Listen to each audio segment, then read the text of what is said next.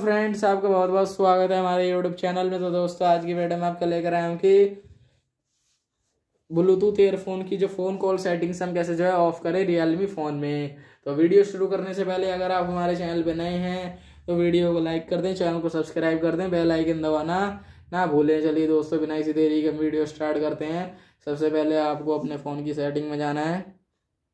Setting में जाने के बाद दोस्तों, यहाँ देखने को मिलेगा कनेक्टेड डिवाइस कनेक्टेड डिवाइस पे क्लिक करें। क्लिक करने के बाद आपको सेटिंग में जाना है। सेटिंग में जाने के बाद दोस्तों, यहाँ दिख रहा होगा फ़ोन कॉल सेटिंग्स हमारी ऑन है। लेकिन हमें इसे ऑफ़ करना है। तो हम ऑफ़ कर लेते हैं, जैसे कि देख सकते हैं दोस्तों, हमारी फ़ोन कॉल सेटिंग जो है ऑफ़ हो चुकी है हमारे रियलमी फ़ोन में।